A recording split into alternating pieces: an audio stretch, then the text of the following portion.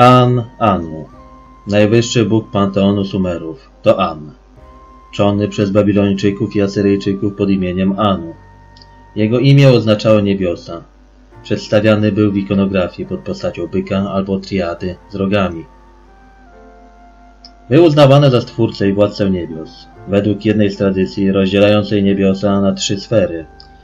Był bogiem części położonej najwyżej, tak zwanej drogi Anu. Znak, którym go zapisywano, oznaczał również słowo Bóg. U Sumerów tworzył triadę bogów. Pierwotnych wraz z synami Enlilem, władcą ziemi, i Enki, władcą wód. Niekiedy dołączona była do nich bogini Ninkursanga, a później Isztar. Według teogronii należał dopiero do czwartej generacji bogów. An posiadał święte moce Me oraz określał losy ludzkości. Jako najwyższy Bóg był również najwyższym autorytetem i podstawowym źródłem wiedzy. Należy pamiętać, że w Mezopotamii godność królewska stąpiła z niebios, zatem An był jej dawcą.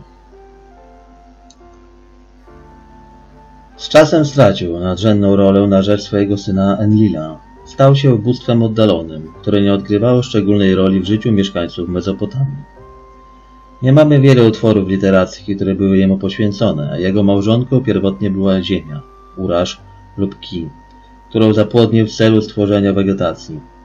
W panteonie babilońsko-asyryjskim jego małżonka nosiła imię Antun i była personifikacją niebios rodzaju żeńskiego. Z jej piersi chmur płynęło mleko, deszcz. Para Anu i Antun pojawiała się w rytuale świętego małżeństwa, odprawianego w celu zapewnienia dobrobytu krajowi. Według innej tradycji jego ukochaną i małżonką została Isztar, bogini wojny i miłości. Częściej jednak to bogini pojawia się jako córka. Tę parę łączyły specjalne więzi. Dla niej Anu stworzył niebiańskiego byka, by ukarać Gilgamesza, legendarnego władcę, który odrzucił zaloty Isztar. Ją też szczególnie wywyższył spośród innych bogiń, czyniąc swoją małżonką w utworze wywyższenie Isztar. Nosił tytuł Ojca Bogów, gdyż uznawany był za ojca wszystkich bóstw, również demonów i złych duchów. Główna świątynia Boga Anu w mieście Uruk nosiła nazwę Eana, Dom Niebios. Dzielił ją z Isztar. W każdym większym okręgu miał świątynię. W Aszur jego siedzibą było Eszaan, dom środek niebios, którą dzielił z Bogiem burzy Adadem. Najbardziej znany władca Mezopotamii, król Hammurabi, w 34 roku swojego panowania odnowił w Babilonie świątynię Etur Kalam Ma, dom obora kraju. Była ona poświęcona trzem bóstwom Anu, Isztar i Nanai.